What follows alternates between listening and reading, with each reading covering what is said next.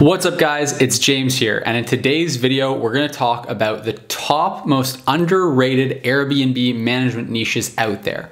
I'm gonna talk to you about some Airbnb management niches, and what I mean by niches, is just the types of property owners that you can work with that are being underserved right now and that represent a huge, huge opportunity for anyone looking to manage properties on Airbnb.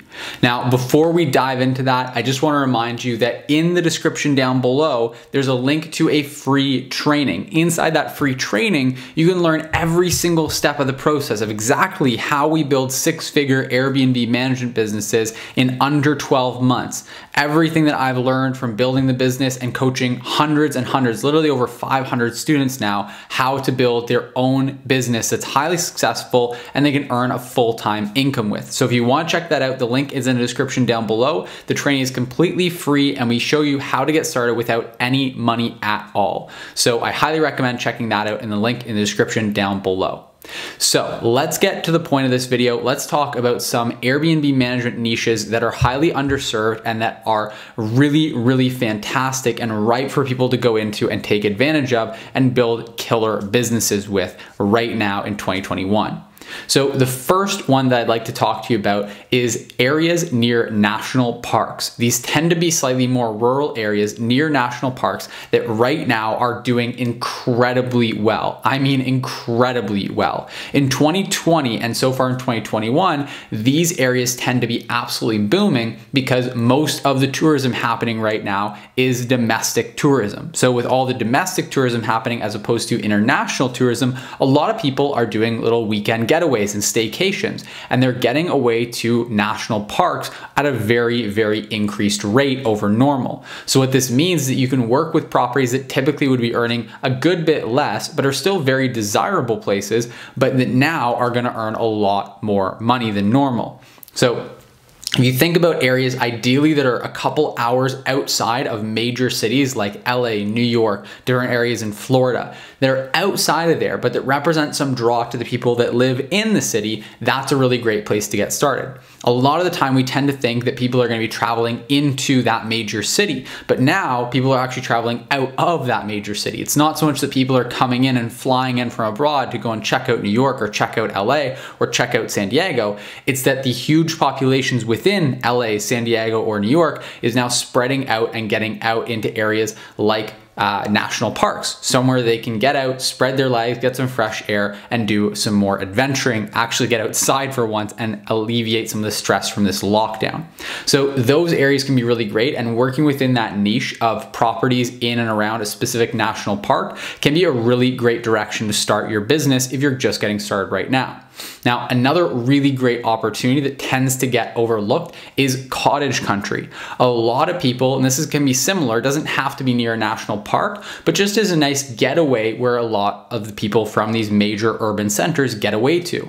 And again, a lot of people tend to focus on those major urban centers. A lot of people think, well, if my area doesn't have a huge population and a lot of tourists draw to it, then you know, I'm not really in a good area to be managing properties on Airbnb. But the opposite is often true. A lot of these smaller towns outside of the major cities tend to do really, really well. And cottage country is absolutely booming right now with popularity. Not only are more people looking to buy places out in cottage country, but more people also are looking to get away there. So this summer, expect there to be a huge amount of demand for properties in those types of locations. So Generally, if you're looking for an underserved, ripe for opportunity market, you want to get into somewhere that the locals are going to be expanding out to this summer.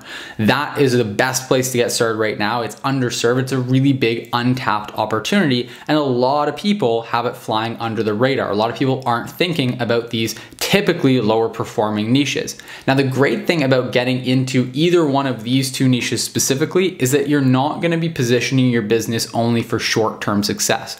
What you want to be mindful of in choosing a niche to start working with in light of everything going on with the you know recent events of the world is that you want to make sure that once things do smooth over, once the vaccine has rolled out, once things start to get back to normal again, that you don't now have a business that's to be going to have dried up overnight. You wanna make sure that you're still operating a business that has a really great chance of being exceptionally successful.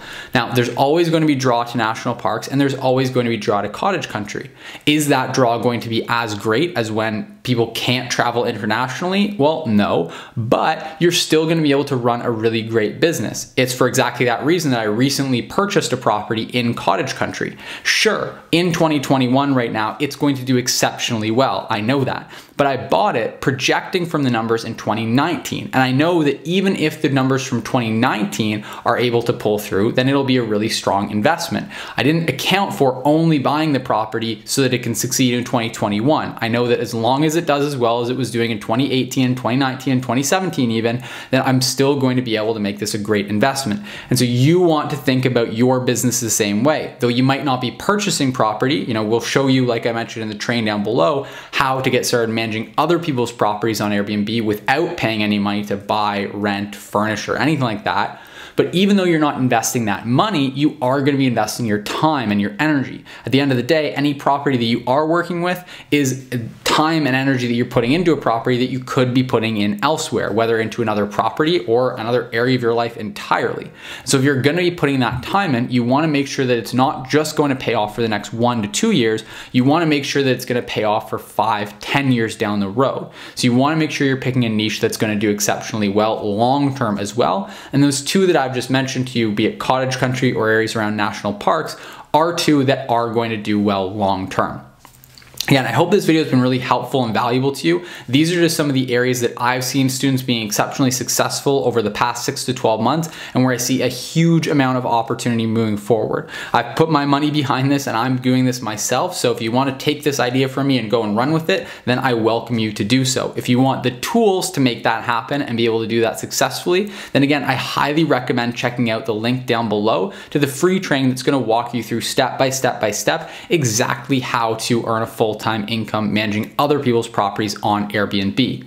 Now, also, I'd invite you to check out my channel and send me an email if you're interested in buying properties on Airbnb. It's an area space that I'm just getting into, and I actually worked with a fantastic coach to get me started buying properties on Airbnb. So if that's something you're interested in, then I highly recommend you reach out to me. Either comment down below this video, send me an email, whatever you want, just get in touch with me because if that's something you're interested in, then I'd love to know and I'd love to be in touch with you so that I can put out more content relating to that. So again, just let me know in the comment section down below is probably the easiest way to let me know if you're interested in learning more about how to invest in properties for short-term rental.